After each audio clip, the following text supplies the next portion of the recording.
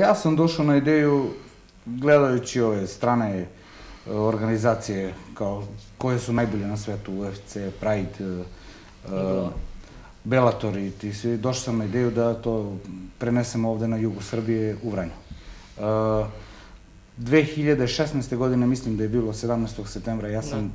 prvi put organizovao uh, GFC ili Gladiators Fight Championship 1 u Vranju. 25. aprila je, znači, u uh, 19 uh, časova, znači ili u 7 sati u sportskoj hali, mala hala, s obzirom da nas je zadesila ova epidemiološka situacija, uh, biće bez publike, ali ćemo da pozovemo vas i ostale ovaj, lokalne medije, kao i Arena Sport koja dolazi iz Beograda da... Uh, se prati putem live streama bar. I da promovišu celokupnu manifestaciju.